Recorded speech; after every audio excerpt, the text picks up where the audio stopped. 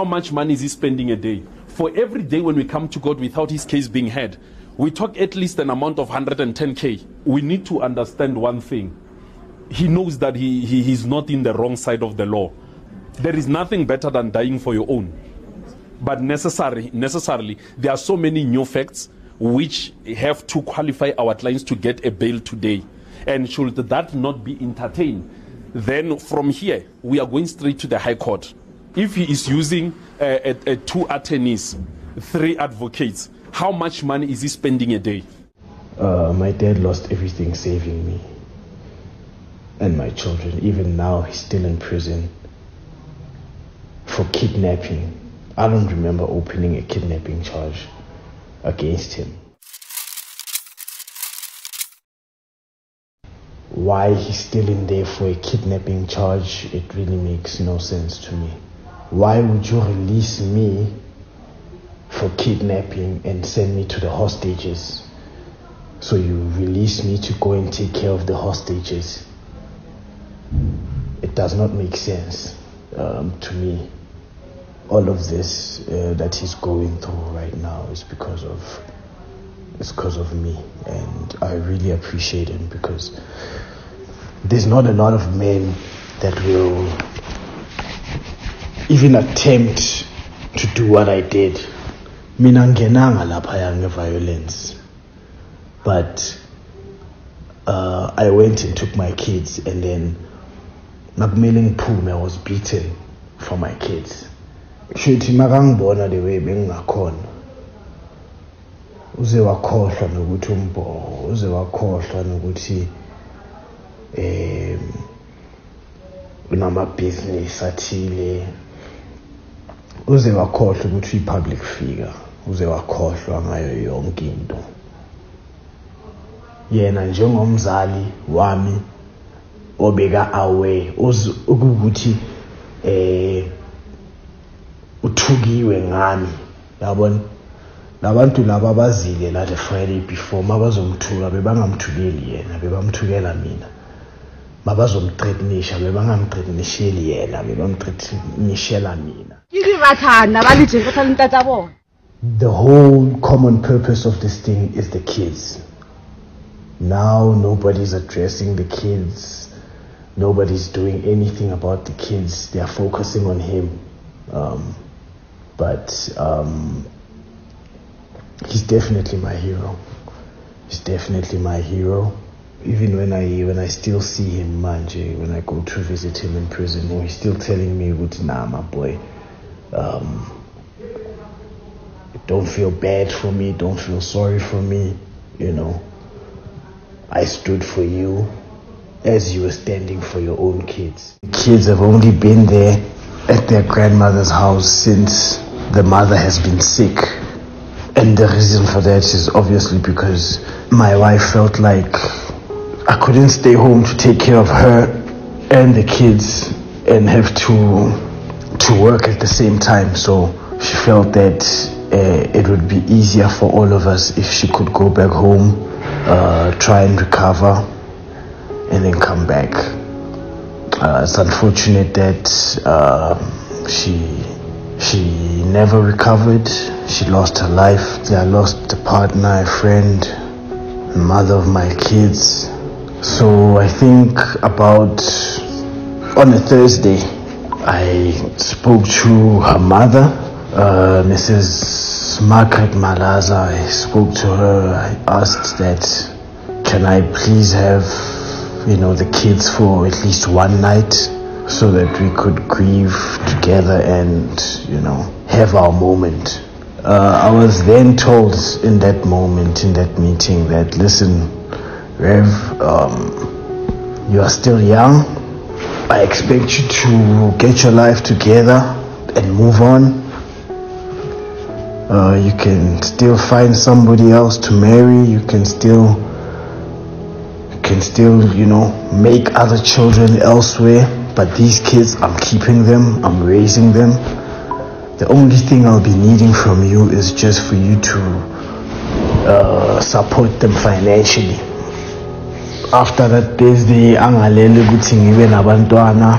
Angitshele lokho angitshela kona ukuthi no labantwana okunye uzababona makusho mina ngesikhathi sami. Eh I'm not expecting you to be you know uh, calling on my phone every weekend. Asking for kids. The kids you have full access to, to them when they are about 13 14 years of age. Come monday monday uh, after the burial of my wife it was my son's birthday i find out you know they've already got plans with the kids. That hurt me uh, that hurt my kids as well because um, I had promised to take them out. Mind you, I couldn't have them before the burial. I can't have them after the burial. Worse, on my son's um, special day. Uh, the week before, me and the maternal grandmother were actually in court. The court clerk told her that, listen, in this case, the father has the full rights. However, if you have any grievances, if you have any complaints, you have the court to approach. If there was a time for men to fight for their kids, right, now is the time. Now is the time to for men to speak up, to speak out about what goes on. You know, a lot of some men who are aware of this story, when they talk to me, they tell me about how they just let their babies go. I'm not that type men need to fight for their kids. Men need to fight to be involved in their kids' lives. Mina ngohlala ngombo Mina ngohlala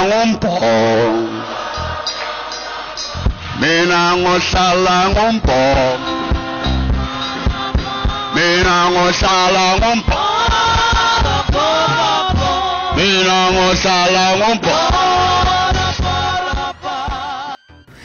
Prison is no joke, says controversial pastor and leader Upaseka Mboro after being released on a 3,000 rands bail.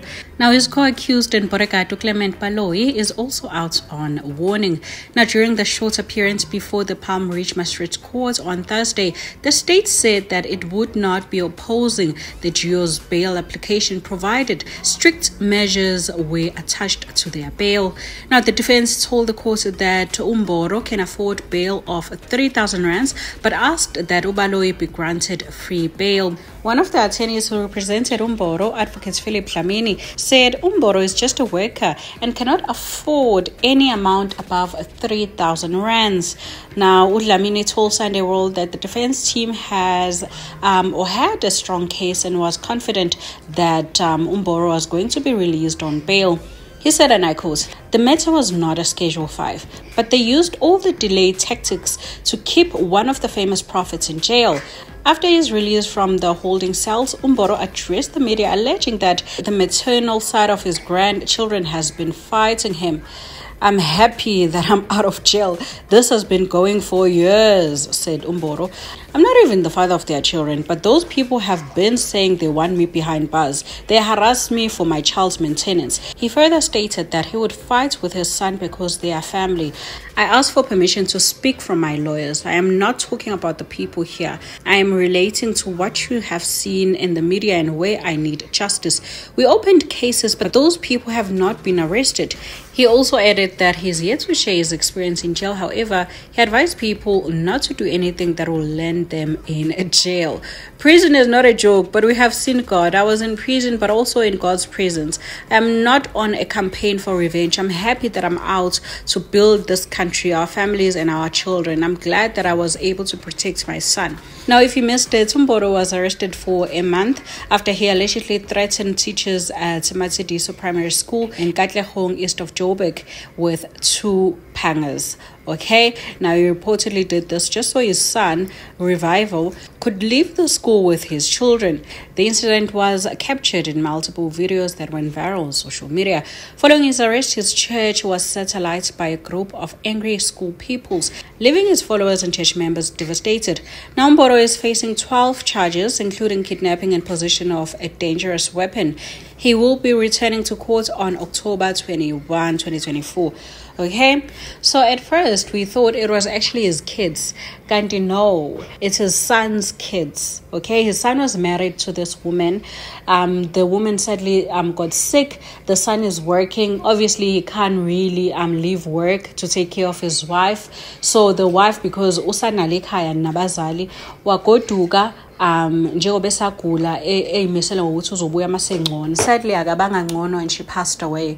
Mekashona vele ingane sezingala kuleli cala already.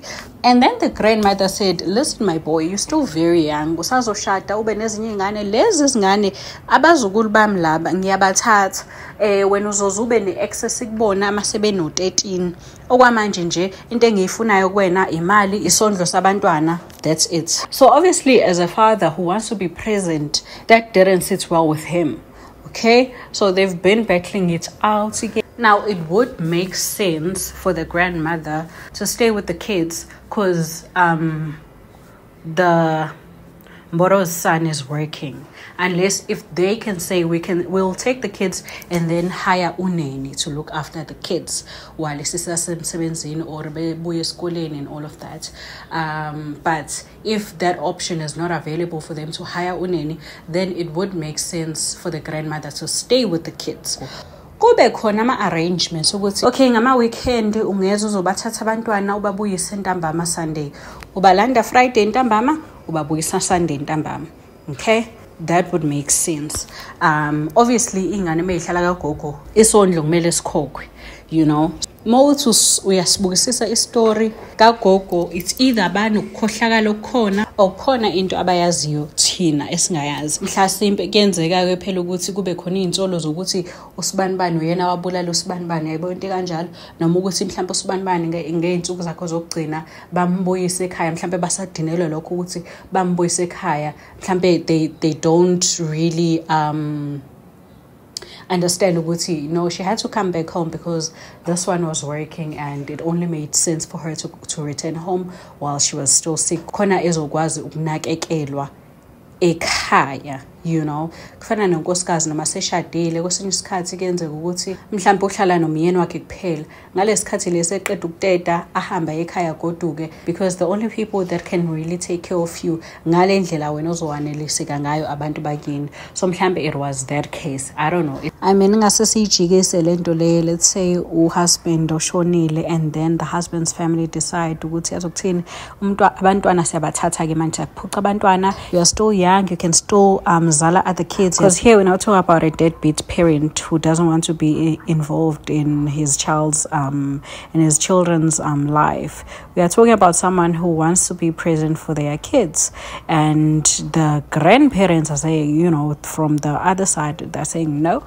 You will only have them when they're like around 13. For now, all we need from you is your money, you know. But then again, we don't know the full story, so we don't want to judge too quick in a hurry, you know. We're just happy Umboro is finally out. Hopefully ngiyaphinda yenze lento ayenzile because someone could have gotten injured and the situation could have been really ugly. You know, he could have been facing attempted murder or murder. Anger management is very important because he just saw his son and obviously he went he just lost it you know as any parent would by the way um, so i don't really blame blame him because you're imagining your child like that